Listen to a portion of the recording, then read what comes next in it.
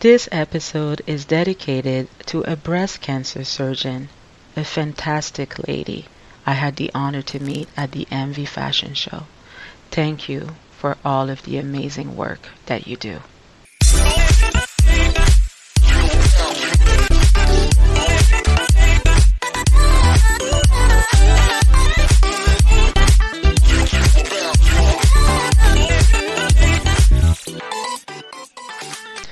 What's up, my Housewives Relatable listeners? It's your girl Stella coming to you once again to talk about it all. Hi, guys. I hope everyone is doing well. For my part, I have to say I am still very much on a high from attending the fashion show for Melissa Gorga this past Wednesday at the Gramercy in New Jersey basically, guys, everything started um, north of the border. Me and my husband basically pretty much drove all night uh, in order to attend the event. And um, when we reached the the border, the the border officer said, "Okay, you know, they ask you the usual questions, and then." She was like the lady. She said uh, so why are you uh, what's bringing you to the united states? And i was just like well you know what I'm going to tell her the truth and I'm going to have some fun with it. So I told the lady, I said, you know, I have this podcast and um, I'm attending a very important fashion show for one of the housewives of New Jersey. You know, Melissa Gorga? Well, we're going to a fashion show. And the lady was like, oh, okay, well, have fun then, you know? and then my husband looked at me and said, You're too funny. He said, Really? You had to say all of that. I said, Yes, honey, I'm having fun with this. And it's true. I'm telling her the truth. I do have a podcast. I don't care that it's a small one, but I do have people that listen to me. And I am going to attend a very important fashion show by Melissa Gorga. so we basically drove all night and I had picked a hotel close to the venue because you know we just wanted to park the car and then just eventually just take a cab or an Uber and just to make it to the Gramercy, uh, the Gramercy, and attend the event. And you know, it's something that was like, you know, it comes with food and it comes with drinks. So I was just like, you know, that way we can just relax, have some fun, and not having to drive back to the hotel. So once we reached there, um,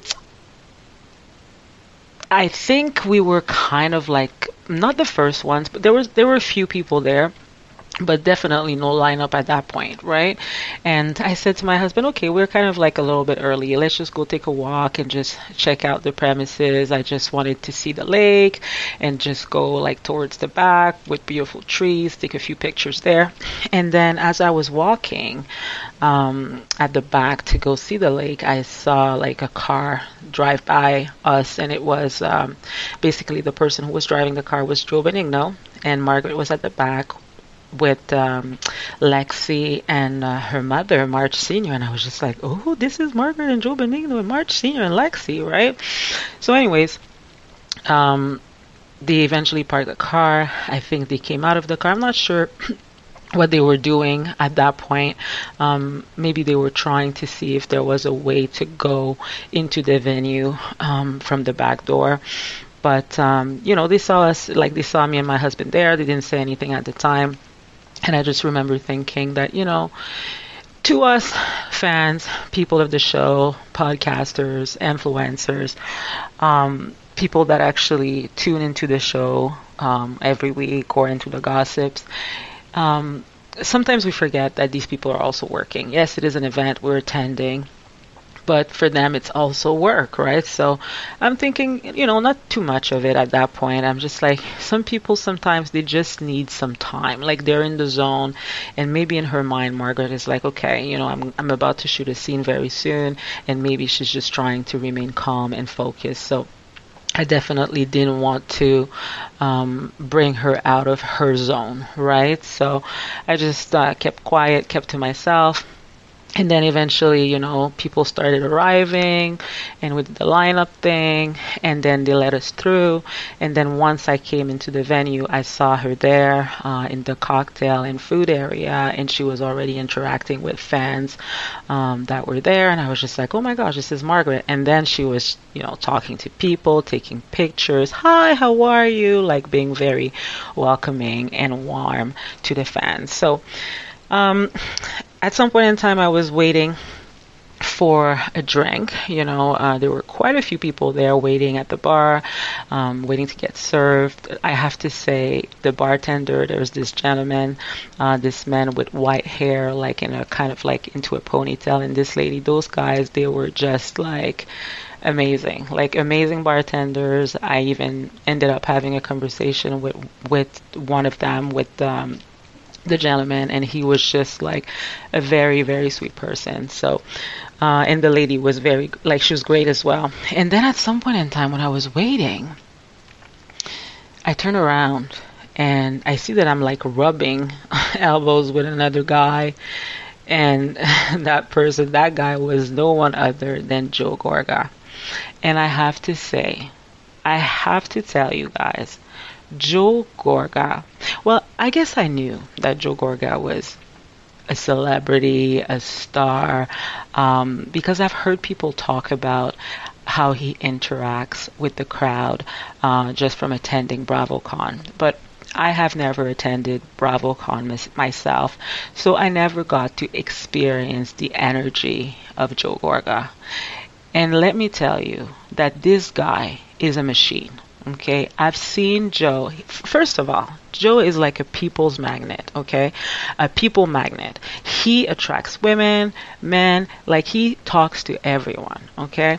Like the women were like literally, Joe, Joe, Joe, Joe, I need a picture with you. And he's like, come here, sweetie, come here. You know, which angle, how many pictures, your friend too, okay, you come here. And he looks at every single one of them in the eyes and he smiles and he doesn't skip a beat. Like this guy has so much energy. And, um, you know, basically the way you see him on the show, how he's very warm and welcoming to people, that's how he comes across. And at some point in time, I was looking at him and I was just like, oh my gosh, like this is Joe Gorga, just like right beside me. But everyone wanted to take a picture with him. So I was just like, okay, you know, eventually I'll have my chance.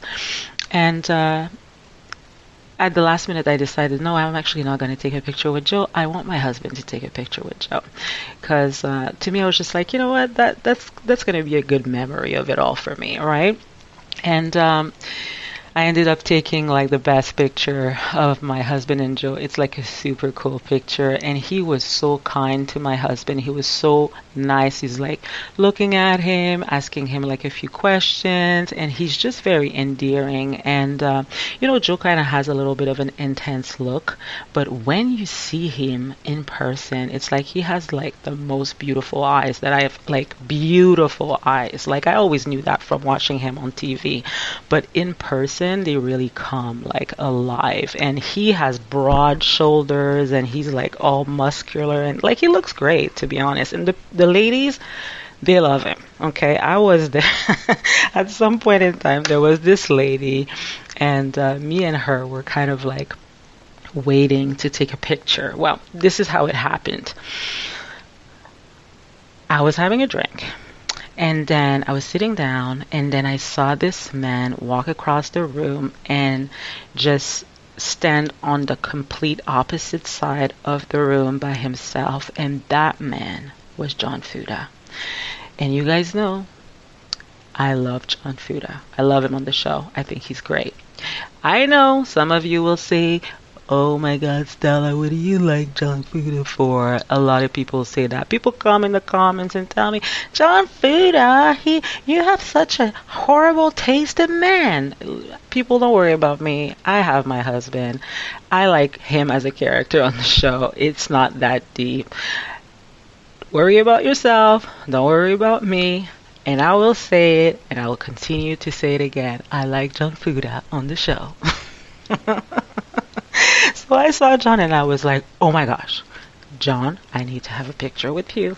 And he said, With me? You want a picture with me? And I was just like, Yeah. And he had like the brightest, the warmest smile. And um, we were just about to take a picture, and in walked in the cameras in walked in the cameras and you know when they come they kind of lock down the area and then you don't necessarily have access to um, you know the the talent or like the, the the, cast members right? So basically i was just like okay you know they're gonna film their scene and i'm just gonna wait for a little bit and then i'll get my picture. And then the scene went on for quite some time and i just waited pa- patiently. And um, while I was waiting, I was speaking to another lady, and uh, she was just like, I want a picture too. And I was just like, Who do you want a picture with? And at that point, you know, there was John Fuda, there was Joe Gorga, there was Frank Catania, there was Nate Cabral, and there was um, Paulie. Yes, Paulie was there and they were like filming a scene together. So I said to the lady, Which one do you want? And she said, Which one do I want? She's like, I want them all. I'm Italian. I want it all. So we both had a good laugh over that. And then she said, No, seriously, the person that I really want a picture with is Joe Gorga. She said, I love him so much. He is so cute. So let me just tell you guys the ladies, the ladies, they love Joe. Joe Gorga. They love him. Not just the ladies, everyone, everyone that was in that venue. It, Joe Gorga had an entourage of people following him around. Like wherever he was going, there was a horde of ladies following him. There was also a horde of guys following him as well. And he is just really engaging. He works the room. Um, and he's, a, he's such a professional. He never said no to anybody. He looked at everyone in the eyes. He greeted everyone, touched everyone. He was so sweet. It was really good to see in action. And after I finally had my chance to take the picture, I actually took a group picture with the man. Um, I stayed back a little bit and I talked to Nate Cabral and I had a really cool conversation with him because, you know, I told you guys my husband is European, he is Portuguese, and so is Nate. So we talked about that and we talked because they're basically from the same area. So it was really, really cool to engage and talk to him about that. And just like, he is like the warmest person. He is so down to earth and he's just like yeah you know i'm kind of like you know in this thing with my wife and i'm here to support her he's like this go happy go lucky guy and very very down to earth and such a gentleman so i definitely enjoyed my interaction with him um, after that i didn't really have a chance to connect with Margaret because you know she's busy. She's Margaret. Everyone's looking at her. Everyone's just like Margaret this, Margaret that. So you know, she was giving a lot of attention to the fans, but I do um, remember I kind of hovered over a scene and I was watching her having a conversation with Danielle Cabral, and I remember seeing Margaret sit down on a bench, and then the cameraman said, "Okay, you know, let's let's go, let's do this," and Margaret, I just saw her basically come alive and just transform. Like one second she was this person that was working the room, working the crowd, and the next person it was just like and scene, right? And I remember like looking at her and looking at her demeanor, looking at her mannerisms, and looking at, you know, how she approached that scene with Danielle. And I was thinking, wow, this woman is really made for this. You know, she is good she knows what she's doing. Margaret is a professional, and um, I remember saying to my husband, she was made for this. You know, she was made for this reality TV world, right? And you guys will know eventually when the show air airs why I'm saying that, but it was really good to see um, in action and how it all played out.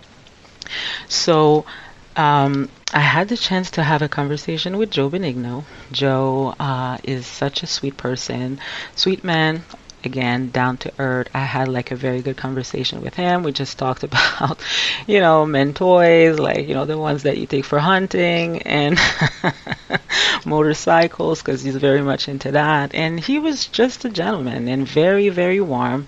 I i have to say like every uh, every single person that i've interacted with was so sweet to me and so nice and so engaging. Like I had a chance to talk to Marge Senior. Marge Senior, I had the best conversation with her. Um, she is such a joy. The way she is on the show, but in person, she is Oh my gosh, like I was talking to this woman and she is very there's something special about Marge, right?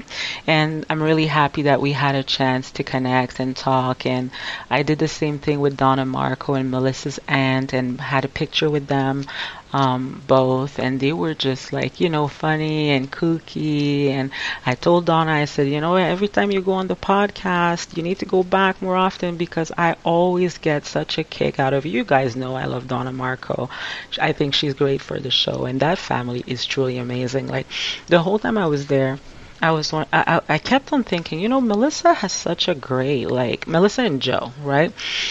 They have such a great ecosystem because you could see like these people like they have a lot like Melissa has a lot of family and friends and those people they all showed up for her.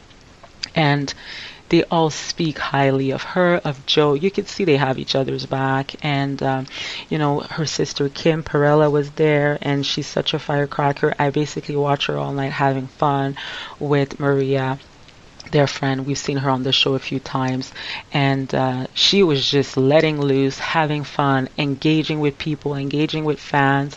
Uh, she didn't skip a beat. Um, another thing. I didn't notice. I didn't see Lisa. Like I'm not. Don't quote me on, on that on that, guys. But I did not see Lisa Simpson, Melissa's sister. So I don't know if she was actually there, but I definitely saw Kim Pirella a few times. Um, when it comes to Dolores, I had a small interaction with her. Uh, my uh, my husband interacted with her a little bit more, you know, because you know she's Dolores, right? Catania, so he's like, I have to talk to Dolores at some point. So then, you know, he had his chance and said hi, Dolores, and she looked at him. He said like, she gave him like the warmest, like kind of like, what like eye contact. And she said hi sweetie grabbed his hand and she's like thank you for coming you know thank you for watching the show. And she had a smile and she's she's very I, I watched her. I watched her in action the whole time not just with my husband but with everyone like women men uh, even me. She's like hi how are you? Thank you. And like for me it, it was like even shorter because she actually had to film a scene but she still stopped in her track looked at me, smiled, and then she was like, "Well, okay, thanks for coming," and then she walked away. Right? So, um, Rachel Fuda. You know, a lot of people say Rachel Fuda, she's beautiful on the show. She's even more beautiful in person. That is totally true. I've seen Rachel, talked to her for a bit. She has this big smile on her face at all times. Uh, we took a few pictures together. She was very, very cool. And so was Kayla, you know, uh, the girl that owns the Eat Clean Bro with her husband. She is a funny girl. Like we had a little bit of fun together outside, took a few pictures. Uh, she's actually quite tall. She was tow- towering over me. You know, a lot of them are like quite petite, but this one is quite tall. So I have to say that it was. Um, it was a little bit surprising because you know you never really know like from watching them on TV how tall they are, right? But this girl was like she's a tall girl, but definitely very very sweet. So Danielle Cabral, I did not interact with Danielle. I did see her, and I was very close to her at some point.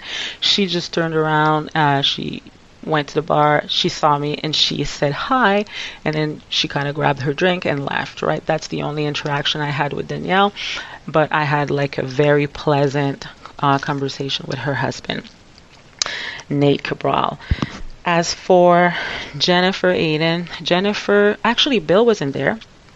Jennifer walked in at some point, like she was coming into the party, and I was just walking out for a few minutes outside, get some fresh air, and um, I kind of bumped into her a little bit, but we didn't talk or exchange. She had a big smile on her face, and I've seen her interact with fans, take pictures, and that kind of stuff. But I didn't have a chance to interact with her, uh, and I did not interact with Jackie Goldschneider. At some point in time, I didn't even know she was there, but eventually I kind of turned over, and she was there having like she was shooting a scene. So. Um, I think she was shooting a scene, if I'm correct. I think Jennifer was there as well. So Oh, by the way, you know, you guys, um, you probably know this by now because uh, she has come out with a video. Um, this influencer, Krissy Balls, you know, she does those TikToks and um, Instagram posts. So I think she did one on the night of the actual fashion show, and she talked about um, she was at the bar, and I think she was at the bar or by the buffet. Anyways, um, Jennifer Aydin and Jackie Goldschneider approached her at some point in time and kind of like try to push Teresa Giudice on her and try to convince her that Teresa is so good and not as bad as people think and that she should give Teresa a chance. Because if you guys are familiar with uh, Krissy Balls she does all of those little vignettes on TikToks, and it's not just about the Real Housewives, about a lot of things. But sometimes she does talk about Teresa and Luis, and it's usually, um, you know, not always in their favor, to say it lightly. They're pretty funny though, her videos. So anyways, um, so I guess Jackie was uh, trying to push Teresa on her, according to Krissy Balls. And uh, Krissy was kind of like, oh, well, you know, I'm not surprised that Jen is trying to do that because we know that she's Teresa's girls. She's Teresa's girl, but when it comes to Jackie, it was a little bit surprising given what Teresa and her had gone through over the years. But um, it kind of reminded me of that scene, you know, in Nashville, the day after Teresa threw that entire table at Margaret. Um, at some point in time, they were in the kitchen, all the ladies, and they were having breakfast. And then Jackie was being very vocal about Teresa not being, you know, like a good person or someone who wants to destroy people's lives. And then Jennifer kind of interjected and said, Well, I don't understand. I'm a little bit confused because last year you sort of like accepted her apology. You said you forgave her. So what's up with that? Why are you saying that now? And then Jackie said, I never really truly accepted her. I just decided to uh, move on because I didn't want her to continue to um, destroy my life. That's what she said to Jennifer Aydin. And Melissa, Melissa Gorga, she was there and she she made a valid point. She said at that point, uh, well, I don't understand. Like, how can she destroy your life if there's nothing to destroy? Which I thought was a very valid statement. And I can't remember what Jackie said in response, but it didn't it didn't really quite make sense. So um, at the end of the day, Jackie um, I don't know, it kind of stayed in the back of my mind. Like, is there a reason why Jackie does not want to have uh, confrontation with Teresa? Because, you know, Teresa did that whole thing with Evan and all of that. So, I don't know. Maybe Teresa has something on Jackie. Who knows, right? Just I'm just speaking hypothetically here. Uh, and by the way, I did not see Evan. So, both uh, Bill Aydin and Evan Goldschneider were not at the party. Uh, Frank and Brittany were there. Um, I didn't interact with Frank. My husband did. Uh, I didn't interact with Brittany, but I saw her in passing. And I have to say about Brittany, she is absolutely gorgeous in person. Like on the show, I find that she is pretty, but it's almost like I don't know if it always does her justice on the show. Like sometimes she, like to me, she appears a little bit more like she appears more youthful in person. Like she she is very very very pretty that girl. So anyways, uh, I saw her engage and talk to fans, so that was enough for me. And um, oh, another thing that I have to say, I had like a conversation with Melissa's cousin-in-law. Um, Mike Masco. And at some point in time, we were both at the bar and we just started talking, just like, you know, small talk. And at some point in time, I said to him, Hey, congratulations on your wedding. I've seen the pictures, it looked amazing. And then he was thanking me. And then at some point, I said, You know, isn't it a little weird, like, that I know about your wedding and like what's going on? And then you don't really know who I am, right? It's like, I know it's kind of weird. And we both had a laugh about it but he was so sweet.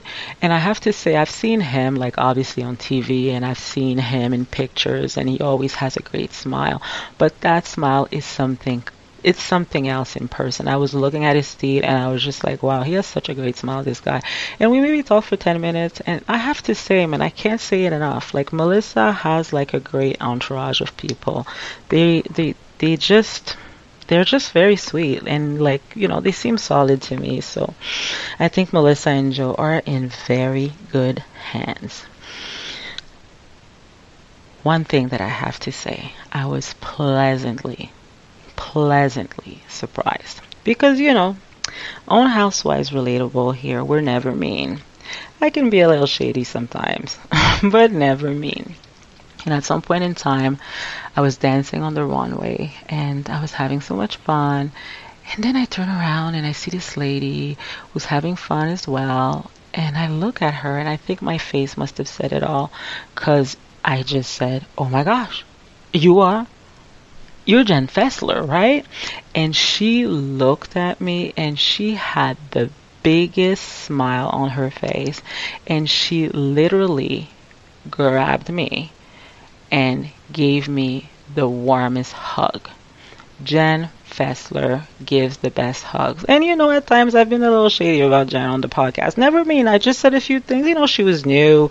The thing about the mozzarella and throwing Jen out of the party and all of that. But you know, like I was just giving my opinion at the time, which is fine, right? But I've also said that she grew on me, and I, I like the fact that she shared so much with the fans on the first season, and that her mom and her twin aunt and all of that and like her relationship with her husband and how it all went down. So jen is good people. She is warm. This woman you could tell she is she was probably like thinking at some point, I really wanted this, like I wanted to be on the show, and now she is, right? And it doesn't matter in what capacity she is on the show. And it's almost like that moment where Andy said Jen Fessler, and he announced her at the reunion, and she said, Please, can you say it again? And it's almost like she is not ashamed of the fact that she wants to take it all in. And she is like, This is my moment. This is my one chance. This is my opportunity. So I'm going to give the kisses to the fans. I'm going to give the hugs to the fans. I'm going to tell them I love them. I'm going to tell them they're great. I'm going to be the warmest and the sweetest to them. That's what I got from Jen Fessler. And it was just like, I felt at that point like, oh my gosh, like, it's almost like this old, like this friend, this old friend that you have, right? It felt really, really good. So only good things to say about Jen Fessler at the fashion show. And lastly, guys, you know, Melissa Gorga, she was busy because she had a fashion show to produce. So she wasn't like necessarily partaking in the whole cocktailing and the food and all of that. So, Melissa, I didn't get to see her until the very, very end, right? And um, I have to say, like, the fashion show. Like she has this boutique. So the clothes, everything was on point. The production, it was an event. You know, she had I'm sure you guys have seen some of it on social media, like things, you know, like that had to do with the violin and, you know, the tap tap and all of that. It was great, right? It was very, very well produced. But the fact that she came on to her song at the end and thanked everybody and start and she was a bit emotional where she was talking about envy and how it's been seven years and she looked absolutely beautiful. She's a very beautiful woman. Like the way you see her on the show is the way she is in real life. Um, that outfit and her hair, the curly hair, like she looked like totally, totally exquisite. And uh, you know, I was on a mission at the end because everybody was having a good time. I met so many great people. Everybody was enjoying themselves. We were definitely all a little overserved, but still, you know, still cool. and I was on a mission to find Melissa Gorga. And I was just like, where is Melissa? Have you seen Melissa? Have you seen Melissa? And eventually I saw Melissa. And she was the warmest person to me. We talked, we took a picture, and she's just great. I have nothing nothing negative to say about the fashion show and all of the great people I've met there. And you know what, guys? There were a few influencers there, like Philly, Philly Diva, um, the Pink Pop box.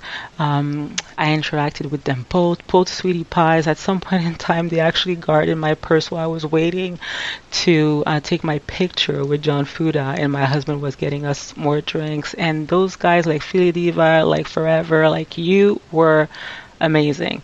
I had so much fun with her, danced with her. She interacted with my husband, Mark, the Pink Pop Box, like sweet as pie, the sweetest, sweetest, sweetest person, you know. Definitely glad I've met them.